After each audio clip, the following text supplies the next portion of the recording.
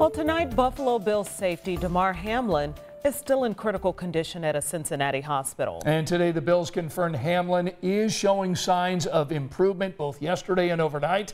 The Bills are saying Hamlin is expected to stay in intensive care as his medical team treats and monitors his condition. All of this after Hamlin tackled a Bengals player, then collapsed after going into cardiac arrest. Since then, there's been an outpouring of support from fans and other teams, including the Colts. In fact, one of the Colts players considers Damar Hamlin one of his best friends. Yeah, Colts rookie Rodney Thomas went to the hospital in Cincinnati and saw Hamlin just hours after the Bills safety collapsed on the field.